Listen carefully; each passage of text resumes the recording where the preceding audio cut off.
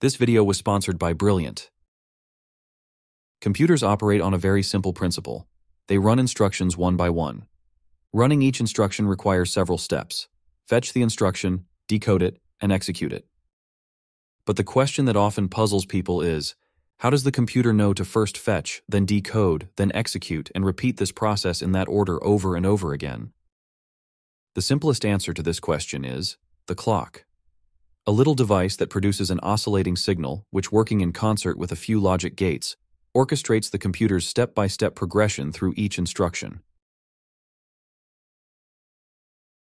Hi friends, my name is George, and this is Core Dumped. This video is not about how to implement clocks, but rather why the oscillating signal they generate is so important to computers. There's a great video from Ben Eater on how to implement a clock like this one. A clock signal can be thought of as a series of pulses, so it makes sense to think that each pulse prompts the processor to move one step forward. Our goal today is to learn how.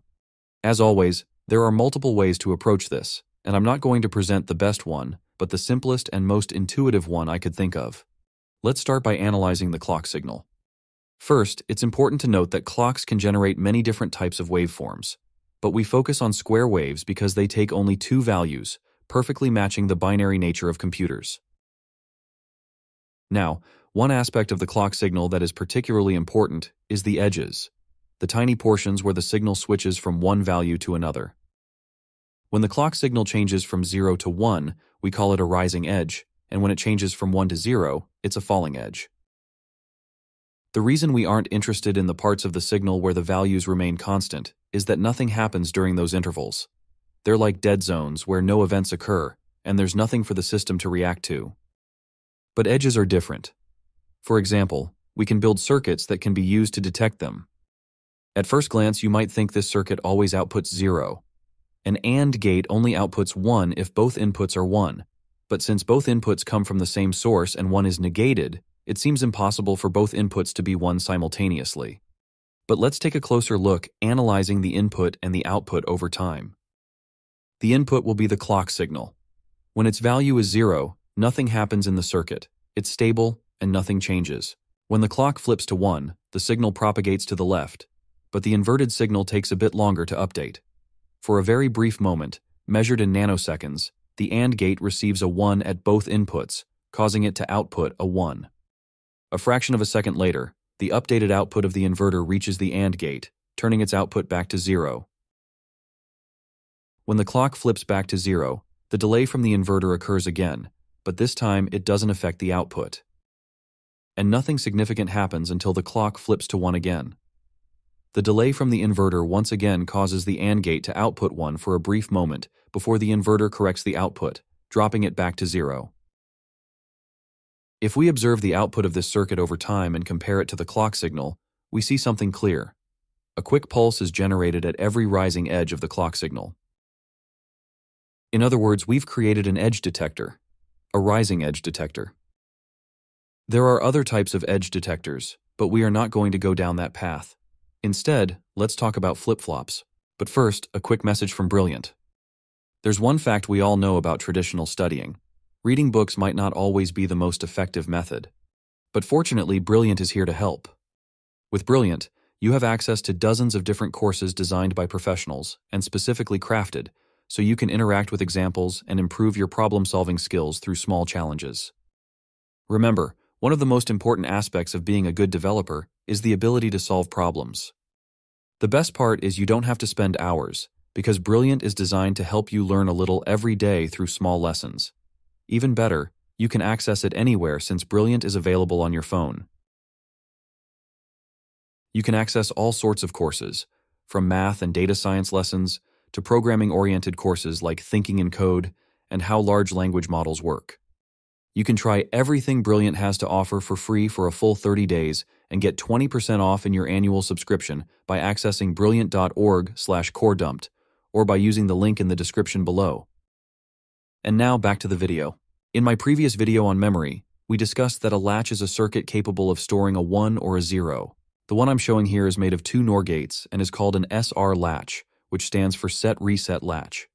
The output Q with the little line in the top outputs the inverse of the value stored, while Q outputs the value stored. Activating the S input causes Q to output 1, and this value is held even if we set the input back to 0.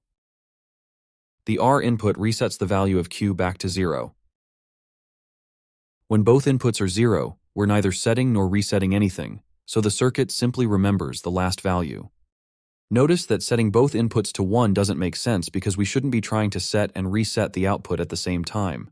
If we do attempt it, while both inputs are activated, both Q and its inverted are forced to 0, which doesn't make sense, they should never output the same value. And not only that, but another issue arises when we set both inputs back to 0. In this situation, the circuit might end up holding either a 1 or a 0, depending on which input changes a few nanoseconds before the other. This creates uncertainty. A variation of this latch exists, which is quite similar but includes an additional input called enable. When the enable input is zero, the other inputs have no effect. We can only set or reset the latch by activating the enable signal. This variation is known as a gated SR latch. At this point, you might be wondering how all of this relates to the clock. Well, if we use the clock as the input for the enable signal, we get a behavior where the levels of the signal, 1 or 0, determine whether the latch can be modified or not. But there's nothing new here. That's the expected behavior of a gated latch. However, if instead of using the clock signal directly, we place an edge detector between the clock and the latch, things get more interesting, because now the signal level doesn't matter.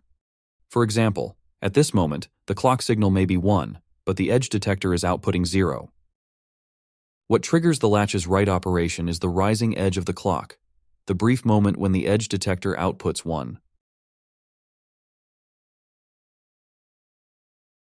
And that's the key difference between a flip-flop and a latch.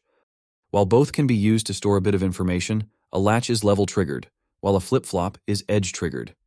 While this particular flip-flop triggers on rising edges, there are other types that trigger on falling edges. But this flip-flop inherited a problem, the invalid state, when we try to set and reset at the same time. Let's try to get rid of that problem.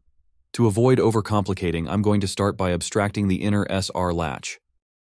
We can add a third input to the AND gates and make sure they never receive the same value, so only either the reset or set input is allowed through, but never both at once. If you think about it, the values of Q and its inverse are perfect for this, since they are always opposites. In this arrangement, the inputs are given new names, J and K. On a rising edge, J performs the set function, while k performs the reset function. But what happens if both j and k are activated at the same time during a rising edge? Well, it depends on the value currently stored. If the value is 1, only the k input will take effect, resetting the latch. If the value is 0, k will have no effect, but j will, setting the latch. In other words, if both j and k are activated during a rising edge, the flip-flop toggles its current value. A JK flip-flop operates as follows. When only J is activated, a rising edge causes it to set. When only K is activated, a rising edge causes it to reset. And when both J and K are activated, a rising edge causes it to toggle its value. This toggle feature is useful in various scenarios, but we are particularly interested in the following application. By permanently setting J and K to 1, by connecting them to the voltage that represents 1, typically 5 volts, the clock's natural oscillation causes the value to toggle automatically. This creates a new signal at output Q that periodically alternates between two states, effectively generating a new clock signal. Looking closer, we can see that since toggling occurs only on the rising edges of the original clock, the resulting signal oscillates at half the frequency of the original clock signal. And with this, we can finally address our main problem. How does the clock instruct the CPU to follow these steps? For educational purposes, let's assume that each instruction requires four stages fetch, decode, execute, and a final step to increment the program counter so the next instruction is fetched in the next cycle. What we need is an electronic mechanism that deactivates all circuits handling stages that are not currently active. For example, in the fetch stage, the CPU needs to activate three wires the address registers read-enable input to send its value to the memory address input. The memory read-enable input to make it output the content at the provided address. And the instruction register write-enable input to overwrite its content with the data coming from memory. In the next stage, the instruction must be decoded, meaning that the wires used in the fetch stage should no longer be active. Instead, we need to activate the instruction register's read-enable input, allowing its contents to flow to the circuitry that decodes the fetched instruction. That's essentially what we need to achieve. Activate only the circuitry for the current stage. In other words, we need circuitry that can select between multiple options. Fortunately, we've encountered binary decoders before. For those unfamiliar, a binary decoder is a circuit made from logic gates. When provided with a binary input, the decoder activates only one output, the one corresponding to the binary input value. And now we only need to figure out some electronic mechanism that periodically increments the decoder's input so the CPU can perform these stages sequentially. This is where the JK flip-flop comes to the rescue. We just learned that in this setup, each rising edge of the clock signal toggles the flip-flop, producing a new signal at half the frequency of the original clock signal. What if we take this slower signal and use it as the clock input of a second flip-flop? For our particular case, we'll use the inverse signal, which we get by using inverted Q instead of Q. If you've been paying attention, the result shouldn't be surprising. The second flip-flop oscillates at half the speed of the first one, or a quarter of the speed of the clock. We can continue adding as many flip-flops as we want, each additional flip-flop makes the signal oscillate twice as slowly as before. This effect has many applications unrelated to our main goal today, but they're still fascinating. Some of you may have seen Steve Mould's video explaining how a quartz crystal oscillator, producing a signal oscillating over 32,000 times per second, needs to be slowed down to once per second for use in digital clocks. And when I say chain of flip-flops, what do I mean? Well, a flip-flop is just a little bit of logic circuitry. I'm not going to go into how a flip-flop can be built. This is exactly what he was talking about, although he took a rather literal approach with the flip-flops. Anyway, that's not our current focus. There's another pattern here, and I'll give you time to recognize it.